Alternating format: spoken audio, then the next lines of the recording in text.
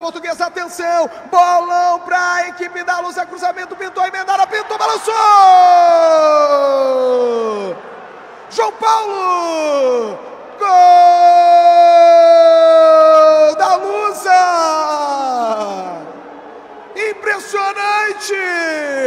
Na correria pelo lado direito, o cruzamento foi feito pelo jovem que foi no fundo. João Paulo chegou para finalizar ele a bola, o gol todo para ele. Dentro da pequena área. A Lusa faz o que quer. Baile de carnaval em pleno domingo à noite no estádio Luso Brasileiro.